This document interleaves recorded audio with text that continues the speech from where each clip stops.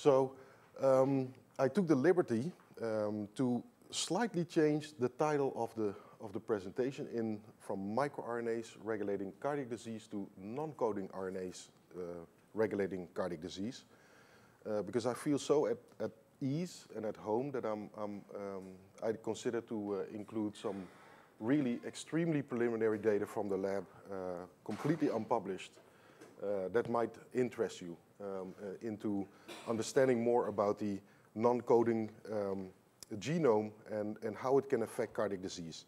So already for about 15 years, uh, we are interested in understanding how the adult heart, the adult myocardium, responds to several types of stress.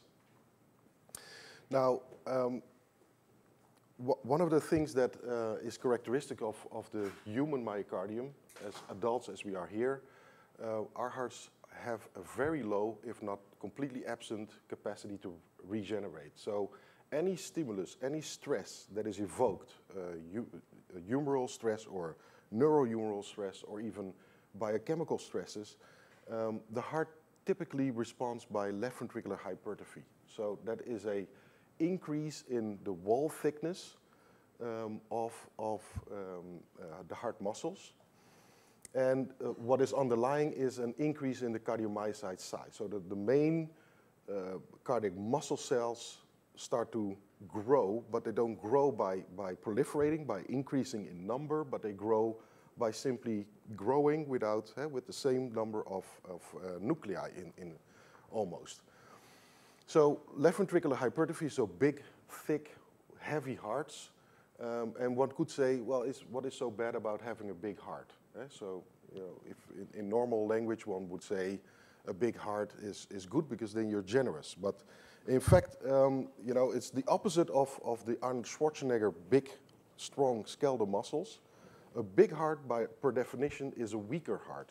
You can ask any cardiac thoracic uh, surgeon, big hearts are, are really uh, looked upon as a, as a pathological symptom.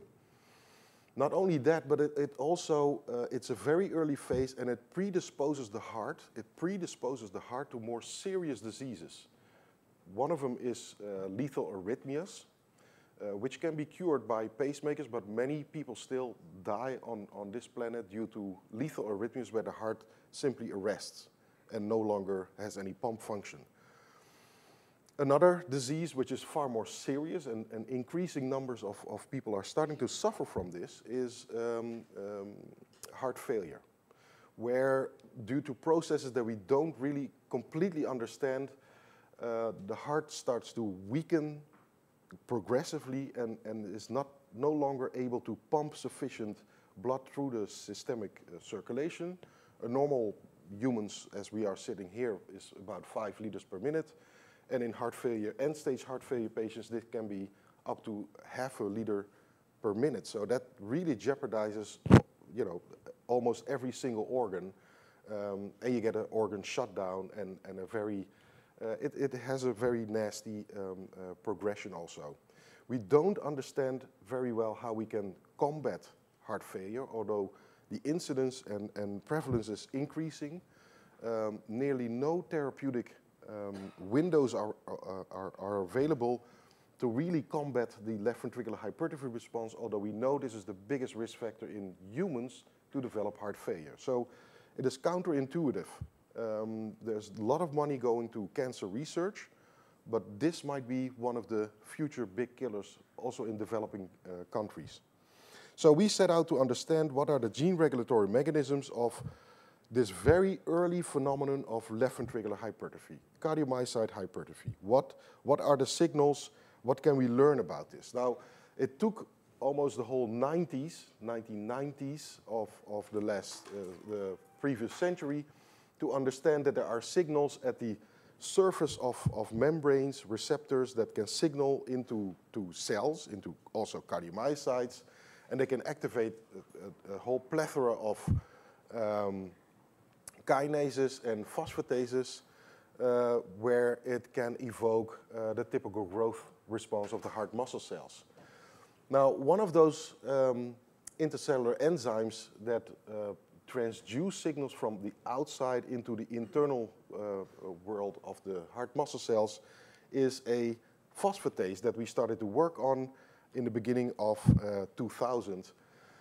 Um, and, and multiple uh, gene, uh, let's say, gain and loss of function uh, uh, studies have been done in mice to, to show that calcineurin, a phosphatase, is truly required for, is sufficient to drive and is also required for the cardiomyocyte hypertrophy response. So what happens with calcineurin, it recognizes a family of transcription factors, latent transcription factors that are present in the cytoplasm of heart muscle cells. They're called nuclear factor activated T cells. They're hyperphosphorylated. And once this phosphatase is activated, it can drive dephosphorylated NFETs to the nucleus and activate a gene program that we think is underlying heart failure. So all these years, we have always been um, uh, wondering what could be the kinase, the identity of the kinase, since everything in life is a balance. You, you send something to the nucleus, it needs to be rephosphorylated at a certain moment in time, and uh, uh, kinases should be doing this job. So it wasn't until we embarked upon a number of other studies that we really bumped into this, this um, identity of the kinase. But I wanted to start also uh, by introducing um, what, what truly is the function of these NFET molecules, these transcription factors in driving pathological hypertrophy. So a talented uh, young postdoc uh, already eight years ago or something in our lab, uh, Miriam Bourjas, she took NFET knockouts and, and did a very simple study. And, and this study is also the basis of the remainder of this presentation. So what we do, we use uh, transverse aortic constriction. That means we, we put a ligature around the uh, transverse aorta that mimics a higher blood pressure as uh, encountered in humans.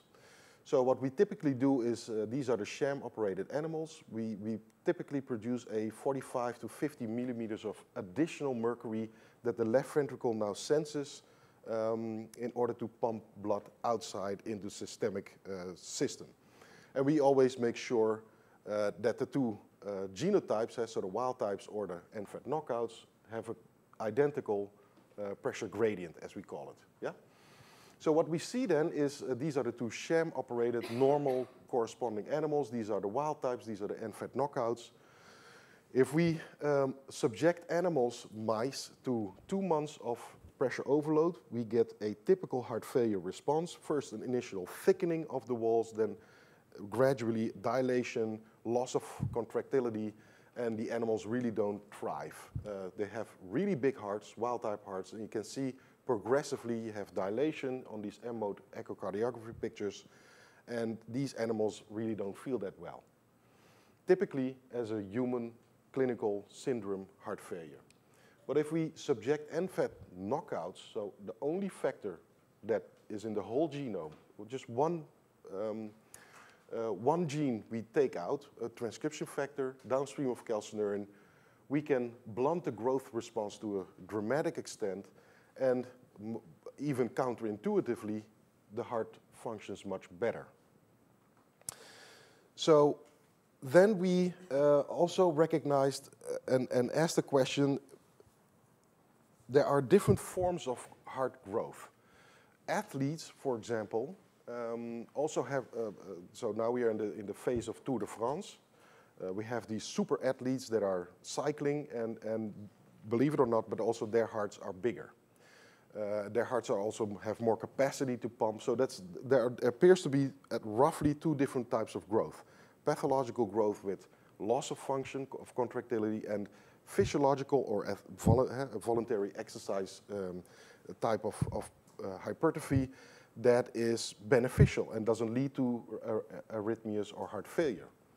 So we simply wanted to ask the question, um, is this pathway, this dramatic pathway that can drive hearts to grow, is it now also involved in this second type of hypertrophy? And for this we subjected animals to voluntary wheel exercise.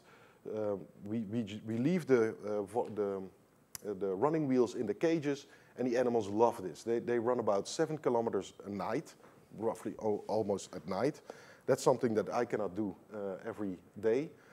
Um, so seven kilometers every day. Wild types and NFAT knockouts are uh, roughly the same. And if this calcineurin NFAT pathway is also involved in voluntary wheel exercise or exercise-induced physiological hypertrophy, the adaptation to exercise, uh, we should see a dramatic blunting of the cardiac hypertrophy response. And that's exactly what we did not see. So these are the two lazy, sedentary mouse hearts. Uh, type of uh, the wild types and the knockouts. These are the animals that were the wild type animals that were exercised for a month. You see a, a growth, not as big as the uh, hypertensive growth that can be quantified by heart rate body rate ratios. And exactly the NFAT knockouts have just as big as hearts as the wild type. So apparently we have encountered upon a pathway that is selective for pathological hypertrophy and therefore of, of sincere interest to understand what are the downstream gene expression patterns and, and genes, um, what is the gene regulatory mechanisms that lead to heart failure. So it wasn't until a, a few years later that we also considered that um, in terms of genes, we should not only consider protein coding genes, but also the non-coding uh, genome. And, and um, our lab was one of the, uh, well, many who were starting to get interesting, uh, interested in microRNA biology and microRNA genes. And um, these two ladies, Paula da Costa Martins, a postdoc in our lab, and pa uh, Kanita Salic, a PhD student, together um, through a series of arrays encountered a microRNA as a downstream target of the pathway that I just described, calcineurin and fat signaling pathway. So consistently when calcineurin and fat signaling was active, they found this microRNA upregulated. You can see the complete hairpin over here, precursor uh, molecule. Uh, microRNAs are just like normal genes. They are transcribed by RNA polymerase II. Uh, they're exported out of the nucleus as, as fairly large uh, precursors and then in the um, cytoplasm, they can be diced up by dicer uh, into 22 nucleotide, 21 to 22 nucleotide single-stranded RNA molecules that can suppress uh, gene um, um, uh, protein translation of multiple proteins at the same time. So what is so unique about this uh, microRNA? Well, it's not heart-specific, but it's remarkably enriched in the heart muscle, where we can also see traces in the kidney and in the brain and it has a very high uh, conservation level, evolutionary conservation. So yes, indeed, uh, these are northern blots over here. Um, this microRNA is increased in hearts that have a artificial activation of calcineurin and fat signaling, and in the pressure overloaded uh, mouse hearts, we can also see an increase of this microRNA well, this is not a rodent phenomenon because we can see the same in northern blots of, of biopsies of uh, human heart failure samples. So non-failing hearts have less of this microRNA 199b versus the failing uh, human hearts. And at a certain moment in time, we were also interested, okay, so, so mechanistically, how is this microRNA now responsive to calcineurin and fat signaling? And um, so we screened the upstream region of, of uh, the microRNA gene. Here it is uh, the, with this blue arrow. arrow. Uh, and we encountered um, a potential NFAT binding site. So an NFAT is a transcription factor. They bind through consensus sequences in the, in the uh, nucleus and the chromosomes. And, and we could identify a consensus binding site roughly 3 kb upstream of the start site of this microRNA gene more impressively, I still think, is that in NFAT knockouts, this microRNA is simply gone, uh, which in the end is, is a very strong uh, type of uh, indication that it must be NFAT dependent. But anyway, we also did luciferase assay, So from the, the whole region that we identified uh, a number of potential NFAT sites, we, we cloned them and put them uh, in front of uh, a minimal promoter with luciferase, driving luciferase, and then in transient transfection assays, we just addressed whether these constructs, these 1 kb constructs, are sensitive to uh, NFET uh, stimulus, eh, calcineurin NFET stim stimuli. A number of them were, but there was one that is really um, uh, super sensitive to calcineurin NFET signaling right at this nuclear, at this N3 site. And if we mutate this site, we lose the, respons uh, the responsiveness to uh, calcineurin NFET signaling. So this gave us very strong hints that this microRNA is a calcineurin NFET uh, target gene. So what, what is it doing then? What, what could it be doing in the heart? Why is it enriched in the heart under pathological signals? Is this a cause? Is it a, an effect? Is it driving something? So to address this, we created transgenic mouse lines overexpressing a microRNA, which in the heart, which at that time has, had not been done. Uh, so it was kind of scary, um, we, but we just tried it. We took the 5.5 uh, kb alpha-myosin heavy chain promoter, which is specific for the adult myocardium of the mouse, clone behind it the uh, complete precursor, and um, followed by the polyadenylation site. And we indeed could find uh, three different transgenic lines, each expressing this microRNA at different levels, but always within roughly three to two to three-fold overexpression compared to the normal situation, which is similar to the human uh, situation in heart failure. A little bit disappointingly, the animals had no phenotype. The heart was completely the same as normal heart. So overexpressing microRNA 199b was not sufficient to cause a big heart. So what is it doing then? So what we did then is, is take hearts that have, uh, under the same promoter, an activated form of calcineurin. So now artificially we activate calcineurin and fat signaling. We get big hearts with thick walls um, and the, the, beginning of heart failure. And if we crossbreed these two animals, now we get a cardiomegaly. So I've never seen bigger mouse hearts than this. This was about four to five times bigger. It's truly a whopping phenotype where it, it almost accelerated the whole phenotype uh, just by activating calcineurin and fat signaling. So this, this intrigued me. Why, why is this a sensitizer? Why, why is a small 22 nucleotide sequence able to activate and, and, and uh, sensitize the whole myocardium to pathological growth? What are its targets? And, and um, we searched databases. Um, we found, of course, multiple potential targets, and one of, one of them really struck our, our, um, our eyes. It's a vague uh, kinase, dual specificity tyrosine phosphorylation regulated kinase 1A that has had at that time only been described twice in a back-to-back -back papers from Gerald Crabtree and Jenna Rao using genome-wide uh, screens where they identified DYRK1A, the potential microRNA 199b target gene, as um, an NFET kinase. So this might be one of those nuclear localized kinases that are able to recognize NFETs, dephosphorylate them, dephosphorylated NFETs, rephosphorylate them and send them back to the cytoplasm. Uh, so these are just some pictures and, and this was then the working hypothesis that we had. So calcineurin and fat signaling drives gene expression that is causing heart failure. One of those genes is microRNA 199b and in its turn, it might have DYRK1A, the kinase, the nuclear kinase, as a potential target. So a very direct, direct thing, Western blots, uh, hearts from um, uh, pathological um, um, calcineurin transgenic animals had greatly reduced DYRK1A levels. The DYRK1A uh, 3' UTR harbored a, um, a very sensitive and, and highly conserved potential microRNA binding site we cloned this 3' UTA reporter up um, uh, downstream of luciferase to, to create these microRNA reporter assays. We could dose-dependently decrease the luciferase activity, and if we mutate it or we, we um, um, transfect in a completely irrelevant microRNA, we don't see any um, efficiency, any um, sensitivity to, uh, to this uh, effect.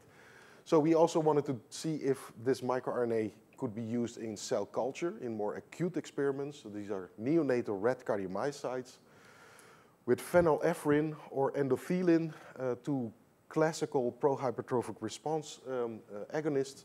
we could increase the amount of uh, microRNA 199b, and after 24 hours, we could already see a decrease of this endogenous DYRK1A kinase.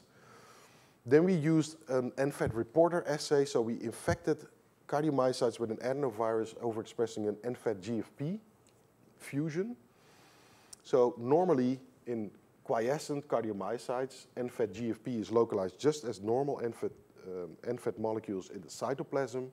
If we give phenylephrine, you see the cells start to grow in, in, in red alpha-actinin, uh, and in, in, in green the, the, the, nuclei. You can see that all these nuclei are now positive for NFET GFP.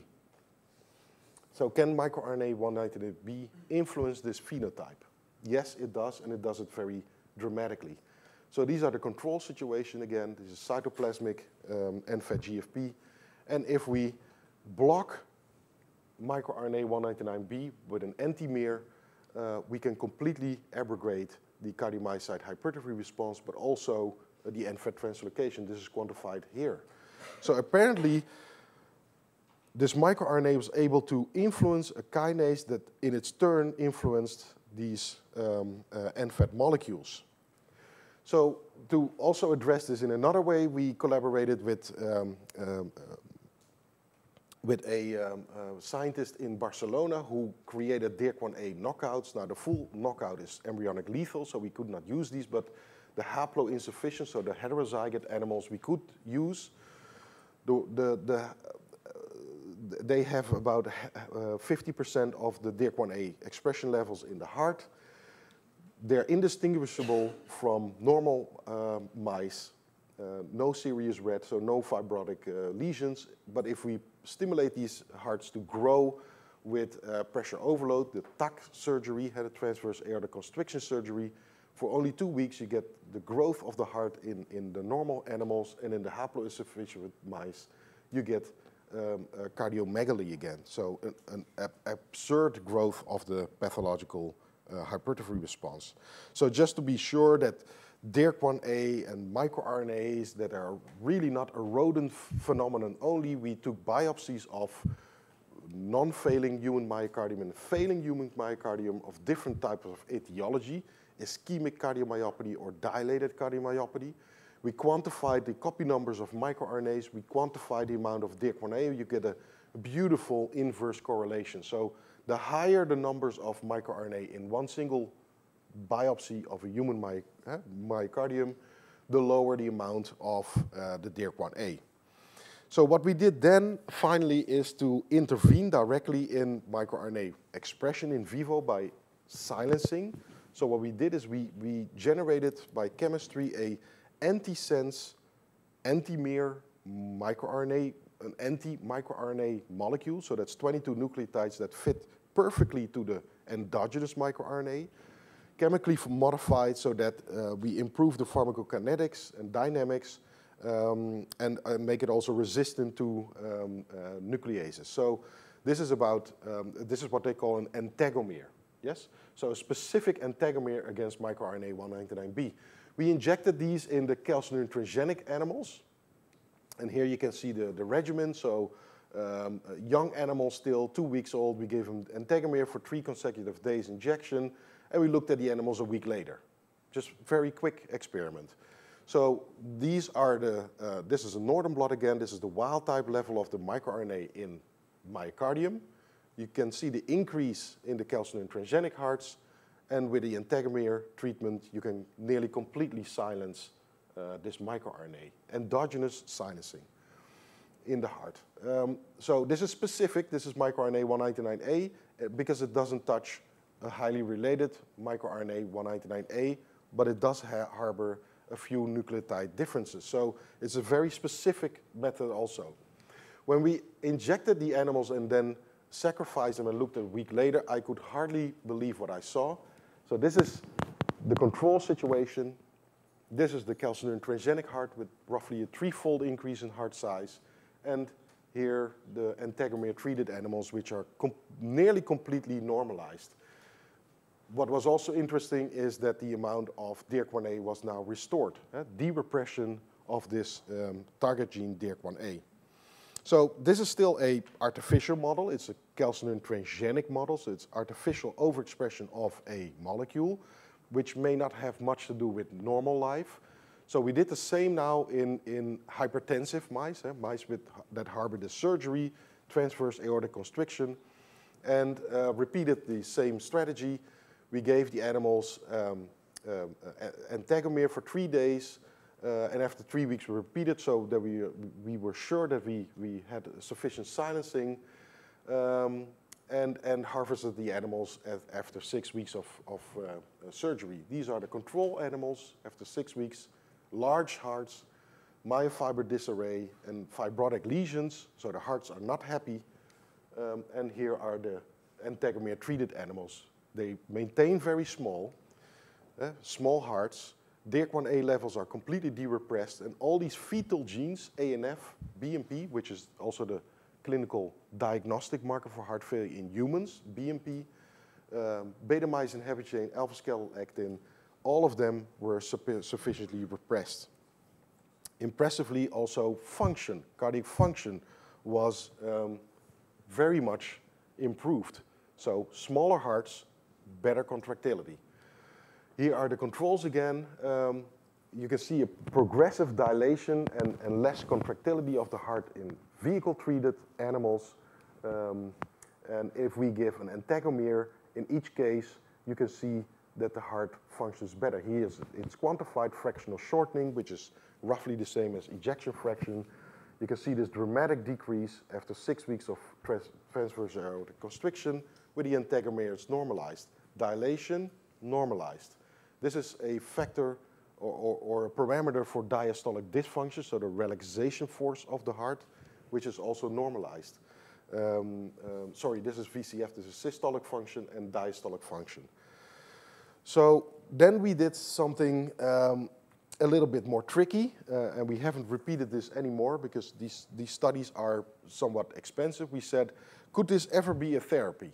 And if it's a therapy, you would not go preventive to get a drug before you get a disease. Yeah? So you, you don't go to your doctor and say, well, I, I think tomorrow I will develop a big heart. Can you give me something to prevent this big heart because then it will protect me against heart failure? No. Normally you go to your physician if you have clinical syndromes, so, so you have um, uh, tiredness and you have the disease. So any drug that new drugs for heart failure should be strong enough to actually reverse the disease also to a certain extent.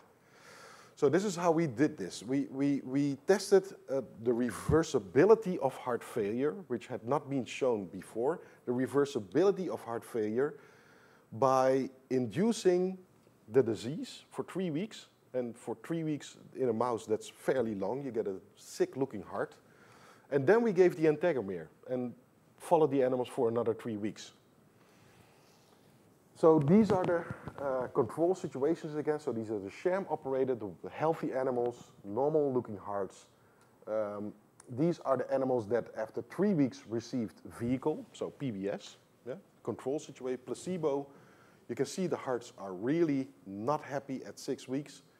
And if we give the integument, we get an almost complete normalization. So these integramers are, so the, the antisense silencing of this microRNA is so potent that it can actually reverse um, uh, advanced phases of, of uh, heart failure.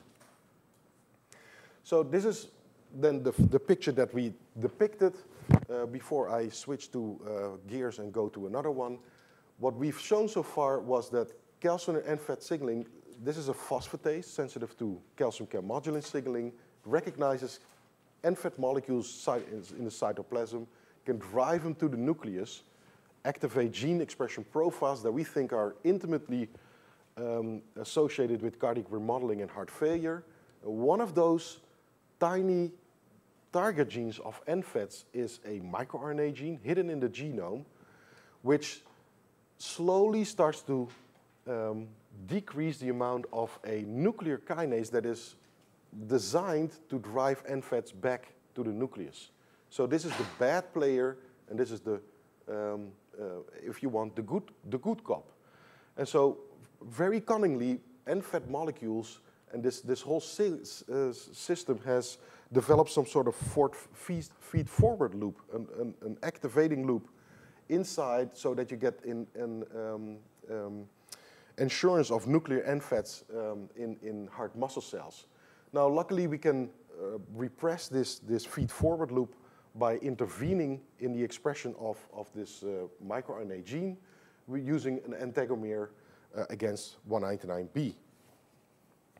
Now, we switch gears and go to, um, um, to another part of, of uh, project which is completely unpublished, and they also have to do with uh, transcription factors. So now we know that in our genome we have about 1,400 transcription factors, and only very few transcription factors have been uh, annotated to be functional in adult heart disease. And, and to understand a few of these factors, it's always good to look at cardiogenesis. So this is embryonic development of the heart, where you have these combinatorial interplay between different transcription factors um, that drive different phases of uh, heart muscle development in mammalian species.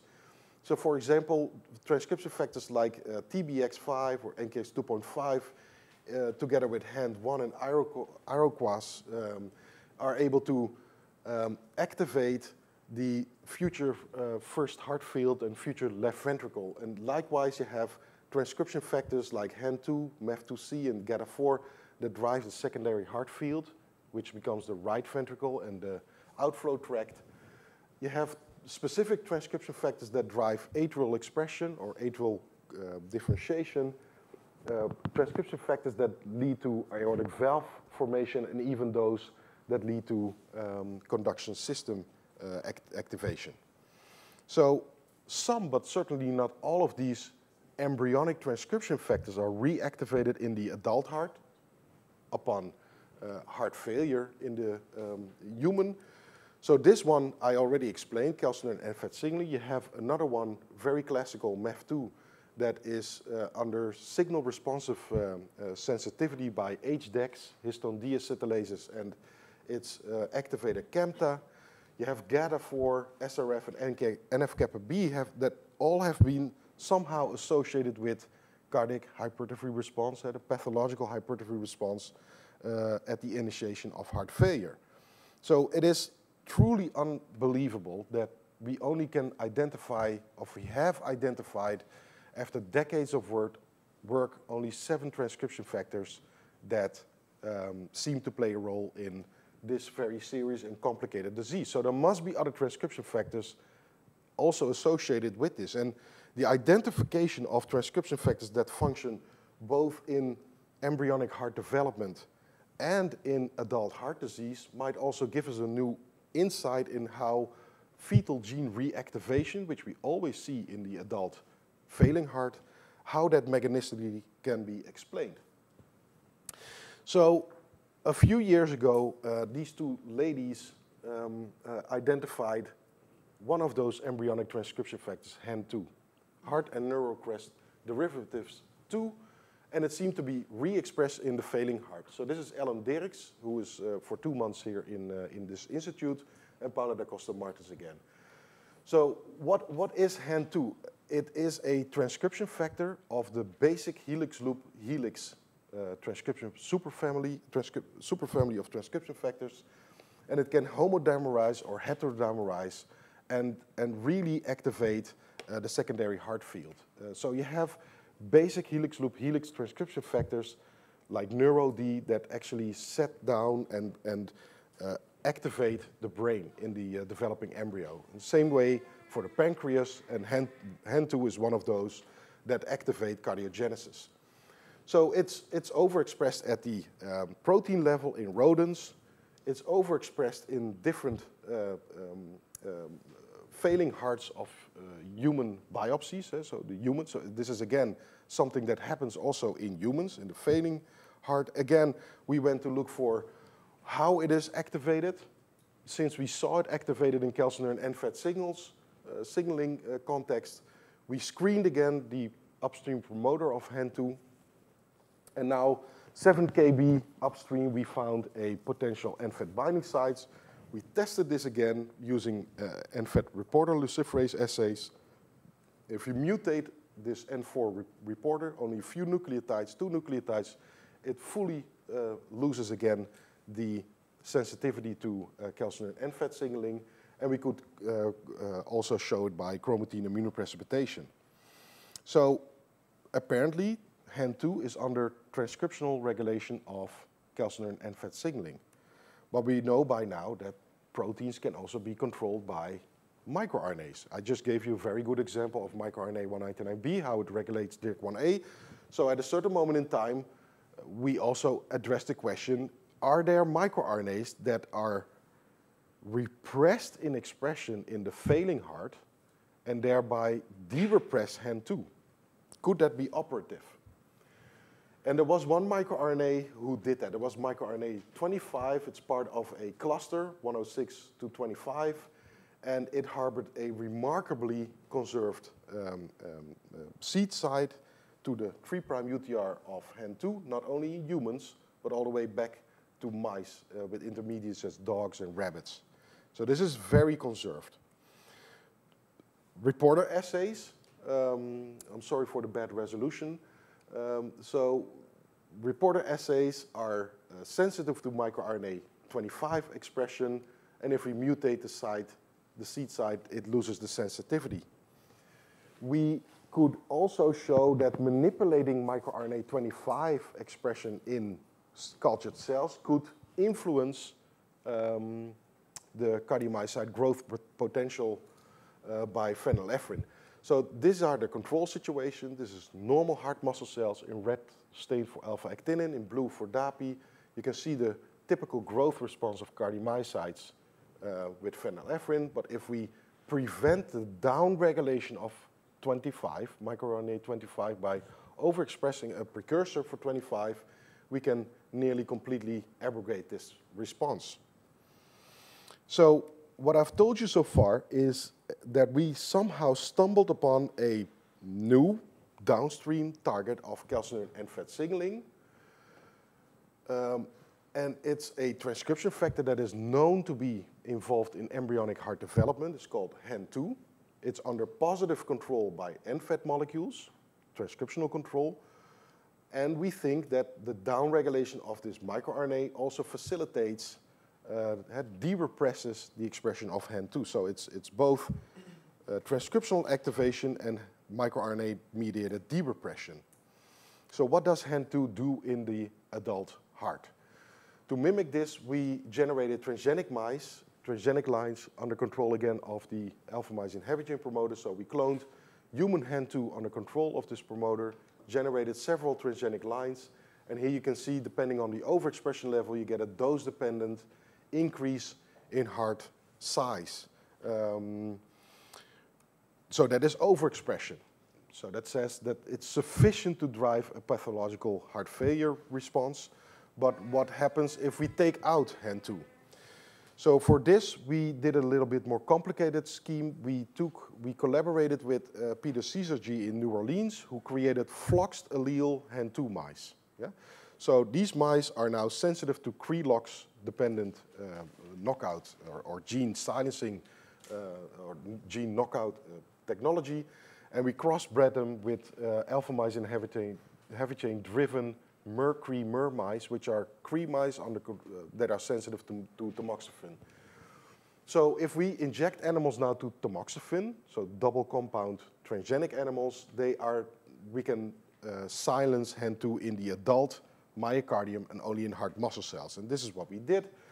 These are the control animals, HEN2 floxed animals, wild types, alpha-myosin heavy chain mercury mer HEN2 FF mice. Uh, both are normal, yes. All receive tamoxifen, of course. Uh, both are normal. These are the controls. These are animals, subjected wild-type animals, the HEN2 floxed allele, to uh, four weeks of transverse aortic constriction. You can see the uh, biventricular enlargement of the heart, typical for heart failure, fibrosis, disarray, big cross-sectional area of the heart muscle cells, so this is pathological hypertrophy. And if we silence HEN2 downstream of calcineurin NFET signaling, downstream of pressure overload, we get a dramatic repression of um, uh, the growth response, an improvement of fractional shortening, and, and less dilation. So taking out HAN2 is beneficial in the context of heart failure.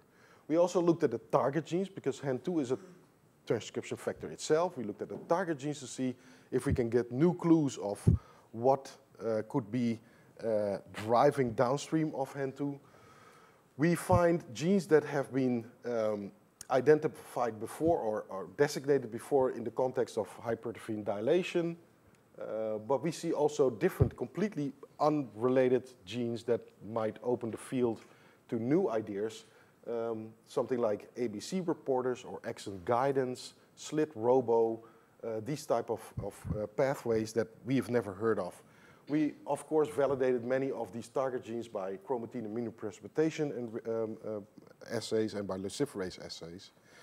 And then finally, we also looked at whether silencing of microRNA 25, as it occurs normally, if we manipulate microRNA 25 expression in vivo, can also influence HAN2 expression or um, uh, the heart failure response. So what we did now is, is roughly the same again. We gave uh, transverse aortic constriction or sham operation surgery. Uh, then we gave uh, specific for 25 to silence microRNA 25 in vivo and look four weeks later.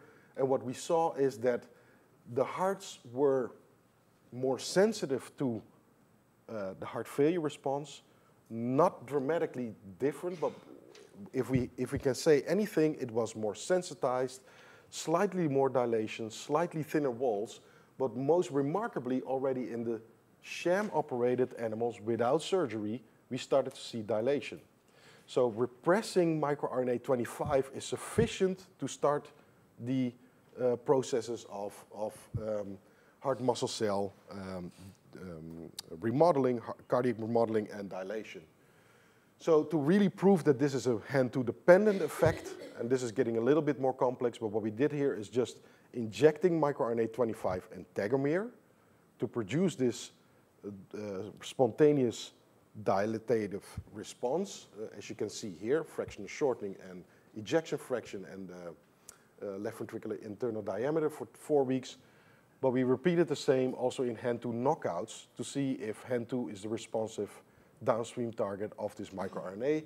And if we knock out uh, HAN2 in the red bars, um, no, sorry, here, uh, you can get a near normalization of this effect. So what we think what is happening is, is the following, that calcineurin NFAT signals are, are sensitive to biomechanical stress or neurohumoral factors um, driving pathological hypertrophy. One of it, it, it activates multiple genes. Uh, one of them is microRNA 199B, um, which creates a feed-forward loop. Another one is an, an, embryonic transcription factor called HAN2. Um, and in conjunction with a downregulation of microRNA 25, which we now also think is downstream of calcineurin NFAT signals, so repressed, it activates um, the expression, the reactivation of a transcription factor normally only activated in the uh, fetal heart. And in its turn, HAN2 is able to activate a number of remodeling genes that can participate in heart failure. Now, and if time permits, I would like to show four more slides with completely new data. Um, I've never presented the data anywhere else, um, and I think we're one of the first in the world to show this. So what I've shown you so far is that we now know that RNA is not only the classical messenger RNAs and protein coding RNAs, we also have non-coding RNAs, and non-coding RNA might be much more bigger and more involved in many of the pathways and biology that we, uh, that we study. One of them is our microRNAs. I gave you two examples of microRNAs, but I did not give you an example of long non-coding RNAs, lincRNAs. So lincRNAs are larger non-coding RNA transcripts, 200 nucleotides at least, all the way up to few kbs. Their functions are much more vague. They are just recently developed, uh, discovered, and we think that they can influence signaling, they can act as decoys, they can do things with chromatin modification. And so just as first steps, we, we analyzed whether link RNAs are expressed. One, are they expressed in the heart? And two, are they differentially expressed after um, in, in, a diseased heart? So Virginie Quinet, a postdoc who started about two years ago in our lab, just did this assay. She took two of our mouse models with dramatic heart failure, calcineurin transgenics, or transverse aortic constriction, and she just subjected the RNA to arrays to, to detect whether there are differentially expressed link RNAs. And yes, there are. To my surprise, many are differentially expressed. Uh, these are all log2 ratios, so um, these are volcano plots. On, on this, on the, y, the x-axis, you see the fold change, so more expressed or less expressed. And these are the uh, log10 p-values, so the probability that uh, the differences are truly uh, statistically significant. And we can see micro, uh, link RNAs that are dramatically and very statistically significantly uh, repressed or activated in the adult myocardium. Um, so many of these genes were um, unknown. They don't have a name, uh, just a number. Uh, the transcripts are known in the genome, uh, and so it was our task to um, name uh, the, the, these transcripts. It's RNA molecules that have no, just a number and no name. And um, the ones that went activated, we call them nachos um, for uh, one of the foods that I kind of like. And the ones that are decreased, we call them Nordic. Eh? So the, low, the more up you go in the north, the colder it gets. Yeah. So cold is repressed. Anyway, uh, nachos and Nordics, link RNAs that are activated and decreased in pathological hypertrophy. And here you can see the whole list of, of uh, differentially expressed. These are three transgenic hearts, three transverse aortic constricted hearts, and three wild types. So you can see Im immediately by this heat map, some of these uh, link RNAs are low expressed in the healthy heart and get reactivated in the failing heart. Some are highly expressed in the healthy heart and get de-repressed, uh, get decreased. We could easily detect certain link RNAs, nachos, that are hundredfolds overexpressed in the heart. So why would you overexpress a link RNA for hundredfolds? That, that to me was really whopping. You never see this with microRNAs. So we designed, and every single thing here, there are no tools available um, uh, commercially, so we have to develop all these tools ourselves. We um, developed qPCR primers that are specific for link RNAs, that don't pick up anything else. And we could really show in these different animal models that they are indeed uh, valid, validatable. Um, and, and most, and this is my last um, slide that I will show of, of data most remarkably, they are functionally involved in cardiomyocyte hypertrophy. So we designed siRNAs that are specifically short hairpins, specifically designed to um, decrease, to repress, to, to silence link RNAs, nachos, or Nordics. Uh, and and uh, sorry for the bad resolution again. This is the control situation.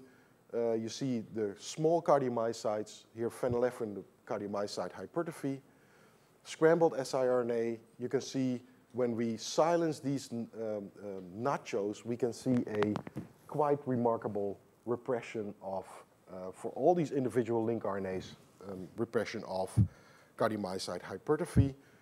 And sometimes with the Nordics, the ones that go down, if we silence them, it is even sufficient, um, uh, the silencing of one link RNA to provoke spontaneous uh, cardiomyocyte hypertrophy. So this gives me, um, uh, comes, uh, brings me back to, to maybe the final slide where we went from normal classical signaling, cellular signaling, and got intrigued by non-coding RNA biology through microRNAs, and now expand our research into link RNAs, and we think it, it's an intimate link between these non-coding RNA transcripts and classical signaling molecules and transcription factors that will, that drives uh, pathological uh, diseases of the heart. Now, just to um, say thanks to the, the people who really did the work. I mentioned her a, few times already. Whoa. This is Paula da Costa Martens, uh, Virginie Quinet, who worked on the link RNA projects, Miriam Bourges on the NFET knockouts, Ellen Dirks, who works on the uh, HAN2, the, the microRNA 25 story.